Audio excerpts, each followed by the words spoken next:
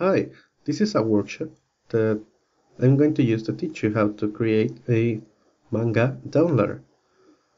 So the first thing you have to make sure is that you have Python installed, which is a programming language that we're going to be using to download the manga episodes. And if you don't have Python installed, you can go ahead to python.org and click in download and you can download 3.5 or 2.7. If you already have Python installed, don't worry, you can use it. You can check if you have it installed by typing Python on your terminal or command line on Windows. And you also need pip, which is a package installer for Python. You can check by typing pip. If you don't have pipe or pip installed, you can go ahead and install it manually. Just in Mac and Windows can be can be done easily by reinstalling Python and following the instructions. And in the end, check the checkbox that says I also want to install pip in my computer. okay, so next thing we're going to do is determine what manga provider I'm going to use. So I have Manga Reader, Manga Fox, and Manga Panda, which in my opinion is a clone of Manga Reader. So uh, if we're going to do web crawling, if you don't know what web crawling means, you can Google that up. Um, but basically means that you're going to take a website, you're going to download man, uh, you're going to download the complete source code in HTML code, you're going to make sense of the data that's in here. And you can use it, store it in a variable or a collection. You can do something with that. What I'm going to do is I'm going to open up a URL with a manga name, an episode, and I'm going to download the entire episode. So as you can see here, this episode consists of 21 pages and if you click on inspect, you see this page is an, is an image with an with a name of IMG. And it has a URL that we're going to use this URL and a library called requests to download this image locally in the computer, but not just one image, but all the images that are part of the episode. So you can analyze what you want. Let's say I want to only access this IMG ID with an ID of IMG. You can do this with a with a library called Beautiful Soup. You also need to have the following packages installed on the with the Python installer packages. One of them is called Beautiful Soup 4. mm, let's check. You can go ahead and install it.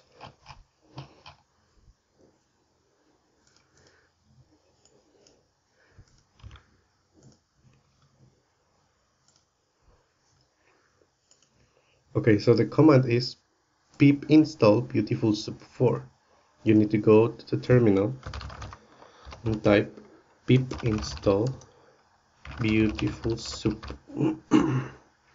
you also need the requests library, which is needed for the HTTP request to the server, to the manga servers. Sorry, I mistyped. Um,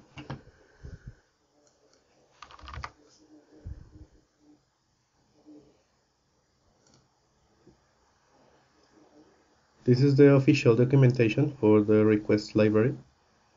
You can also install it by typing pip install requests. Let's go ahead and install them. So I already have them installed.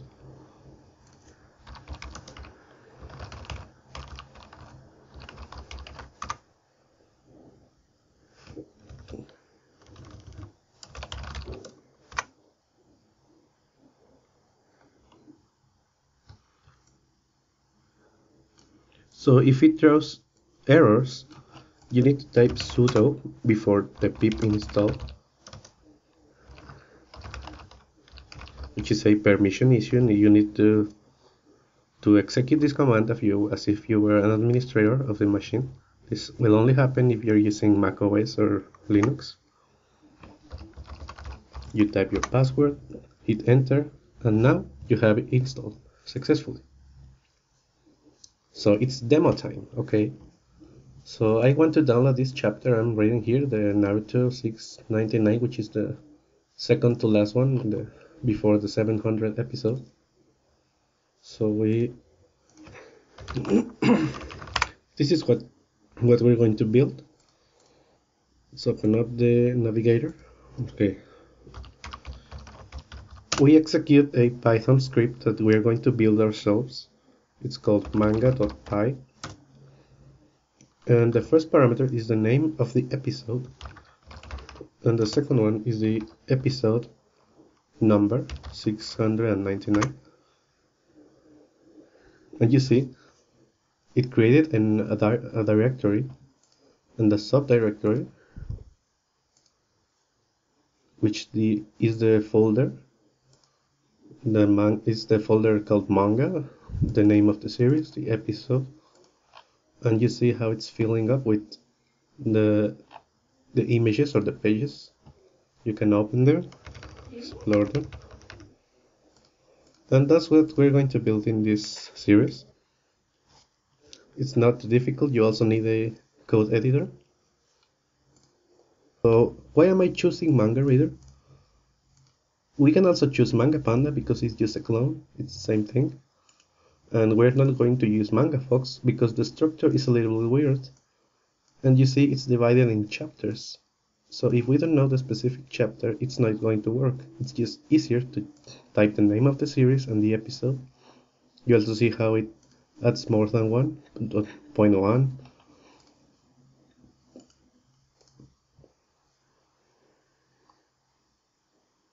It also has an ID of image if somehow we manage to type to write an algorithm that can download a URL like this, it's it's going to be exactly the same to download the image as it's going to be the same for this because it has an ID of image. It's rather easy.